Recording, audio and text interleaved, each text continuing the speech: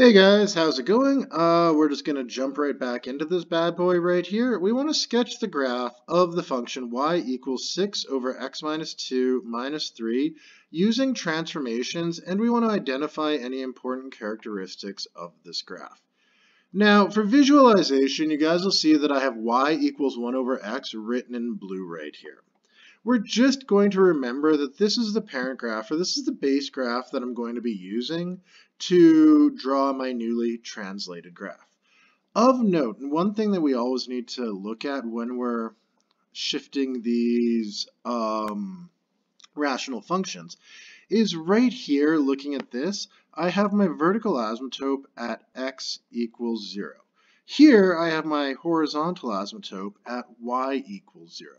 So when we're looking at these graphs and when we're translating these graphs or transforming these graphs, one of the things, or probably the biggest thing that I usually do, is I shift my horizontal and the vertical asymptote. And I call this moving the crosshairs. It's exactly like if you look at the dotted lines, what we've done is we've created a crosshair shape. So the first thing that I always set out to do is move the crosshairs on my graph. My vertical asymptote was originally at x equals 0, as again we see right there. Now, what's happening right here is I'm shifting it two units to the right because we have that x minus 2. So if it originally starts off here at x equals 0 and I shift it two units to the right, that means that my vertical asymptote is just simply going to be x equals 2. So we draw that in right here. And again, I apologize about how my lines are not the straightest right now. I guarantee you that as I keep on doing this, I will get better. Horizontal asymptote. We see that I have shifted three units down, thus my horizontal asymptote shifts three units down from y equals zero, which will give me y equals negative three. And again right here, I'm just going to draw my horizontal asymptote in at y equals negative 3. Now, something that is usually very, very good to do is to get my x-intercepts and my y-intercepts to just get a good picture or a better picture of what's going on here. And it's always a good idea when we're sketching graphs to include a couple of points.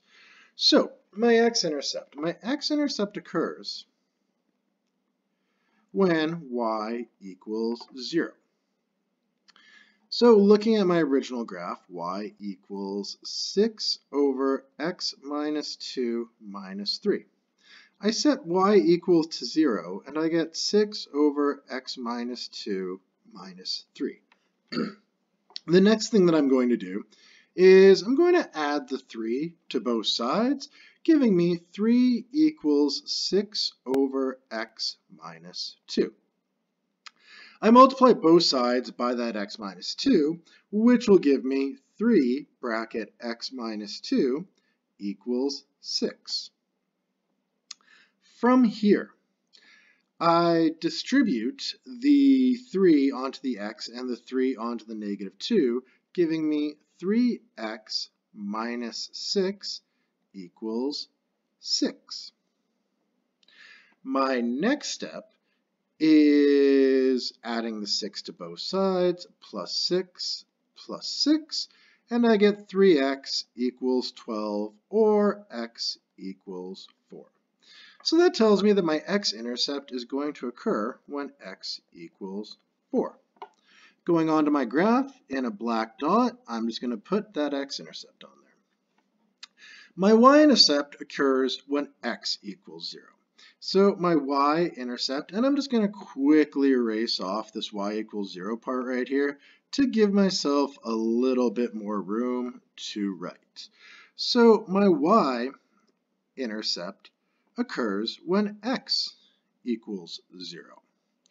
So we look at this, y equals 6 over x minus 2 minus 3 y equals 6 over 0 minus 2 minus 3.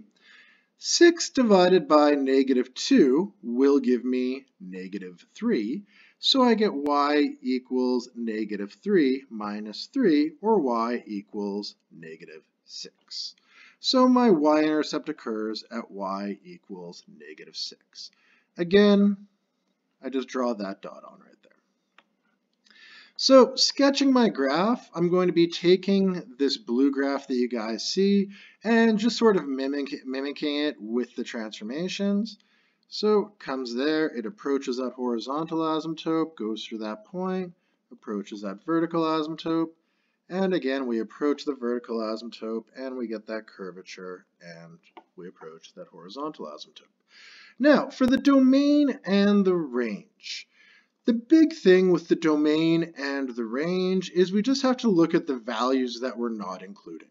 Since I have a vertical asymptote at x equals 2, I'm not including that value. I have a horizontal asymptote at y equals negative 3, so I'm not including that value. Other than that, this graph exists everywhere. Um, what we'll do is we'll use set builder notation. So my domain, I have x, where x does not equal 2, and x is in the set of real numbers. And then my range is going to be y, where y does not equal negative 3, and y is in the set of real numbers. And thus, this question is done. Thank you guys for listening, and we'll be right back with the next question.